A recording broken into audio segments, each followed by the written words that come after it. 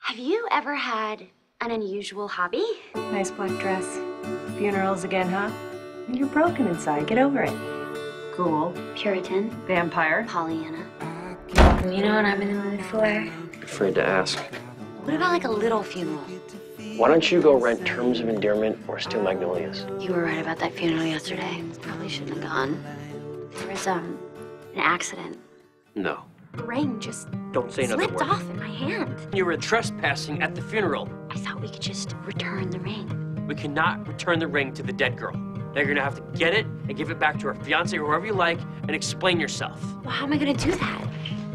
How'd you find me? It's funny, I don't even know you. But it feels like you're the only friend I've got. Tyler, I have to apologize to you. It's been a terrible week.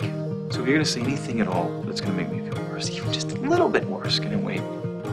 Well, I've uh, met someone. A romantic someone? I don't know. what does it matter if we met through a mix-up? A mix-up stating a little softly, don't you think? How did you know Anna? We uh, took a class together. What sort of class?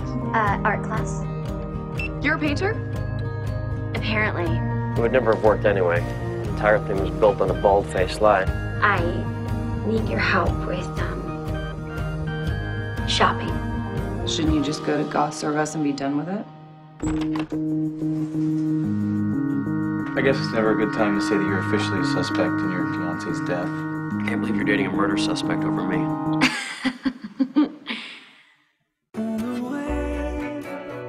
Don't trust him. Don't believe a word he says. That is the first rule. Now, do you have any evidence of his misdeeds, or is it just a general feeling? Have you ever dated somebody and it just wasn't quite right? Is there any other way?